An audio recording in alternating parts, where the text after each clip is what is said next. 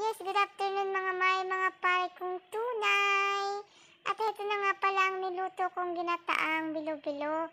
At hindi ko alam sa iba kung anong tawag binignit, ginataang halo-halo, at ginataang aba, basta kayo nang bahala.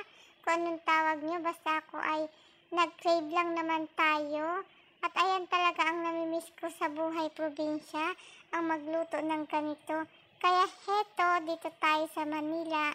Nag-crave tayo at ayan na nga ang pinaka-result ng ating luto. Ayan, ang sarap-sarap, di ba? Parang namimiss niyo yung buhay probinsya. Yung minsan gusto mong magluto ng almusal, tanghalian, at minsan hapunan na yan kapag sa probinsya talaga. Kasi sulit na sulit talaga, ang sarap-sarap. Hindi ka na talaga magugutom na yan sa mga ganyang lasa at timplada. Talagang hindi. Yan na nga mga mare at hindi tinipid sa ating ingredients. At ayun na nga mga mare mga pare at sinimulan ko na ang aking pagmumukbang ng aking nilutong ginataang bilo-bilo at ginataang binignit. Ewan ko ba, bahala na kayo. Napaulit-ulit na tayo mga mga mare mga pare at ayun na nga tinig.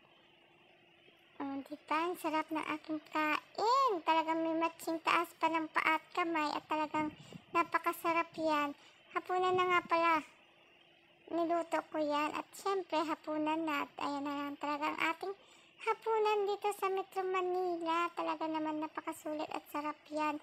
Talagang hindi naluan ng kung ano-ano. At talagang purong gata lang talagang nilagay ko dyan para malinamnam ang gata.